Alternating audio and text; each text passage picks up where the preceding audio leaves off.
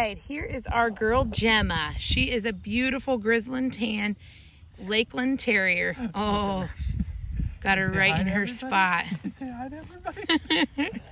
This girl is so much fun. She is loving and sweet. I can really trust her. She loves my kids, and she is my kids' absolute favorite. As you can see, she's always up for a good time, always loves a good belly rubbing. She's a good little snuggler. now we got her all wound up. She's ready to play, play, play. Just She's just an awesome little girly. She's a petite little Lakeland. She's probably, oh, like probably 16, 17 pounds. And she's just a really sweet girl. Very loving, devoted girl.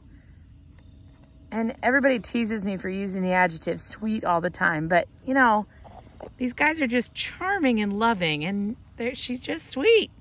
But this is our Lakeland Terrier Gemma. She's an awesome girl.